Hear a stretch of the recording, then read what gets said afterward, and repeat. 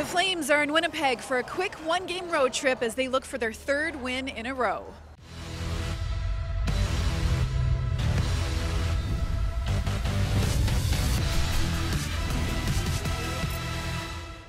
Everybody. Happy New Year and welcome to Game Day. Welcome to Winnipeg, where the Calgary Flames are looking to kick off 2023 the same way they closed out 2022, and that is, of course, with a victory. The Flames are coming off a 3 2 win over the Vancouver Canucks on New Year's Eve. It was a big night for Mackenzie Weegar, who scored his first goal as a Calgary Flame and his first goal in 39 games. The win was Calgary's second in a row as they get set to face a Winnipeg Jets team that has also won two straight. This will be the Jets' first outing of a three game homestand, and they've been pretty solid at Canada Life Centre with a record of 13 and 6 this season.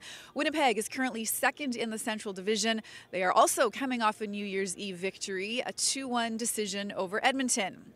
Calgary, as I mentioned, also winners of two straight after a very busy December that saw them play 16 games and pick up points in 12 of them.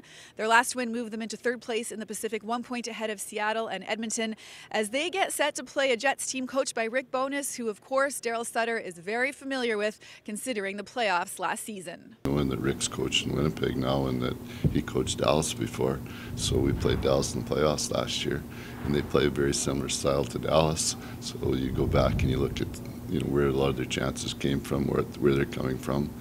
Um, if you look at Winnipeg right now, they're there's they are right at the top of the league in terms of on the rush, and a lot of that is their defense defense involvement in plays. So you see that with Winnipeg this year.